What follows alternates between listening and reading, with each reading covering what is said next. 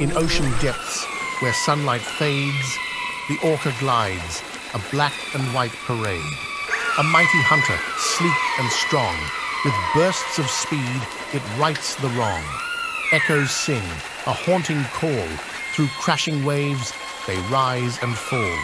A family bond, a pod so tight, together hunt beneath the light. Salmon flash, a silver stream, the orca leaps, a dazzling dream.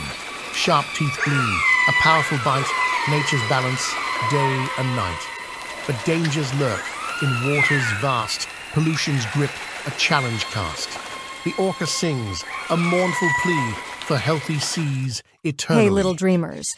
Did you enjoy tonight's bedtime adventure? If you want more magical tales and exciting adventures, don't forget to hit that subscribe button.